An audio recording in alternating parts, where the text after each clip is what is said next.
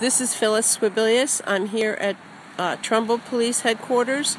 It's Monday morning, March 3rd. I was able to look at the police logs from the weekend and from Friday. Many of the reports I was told were not available.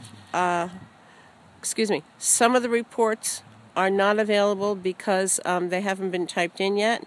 The arrest log was not available to take home, but it was readily available at the desk. There's a charge for the police reports of a dollar for the first page and 50 cents per page thereafter.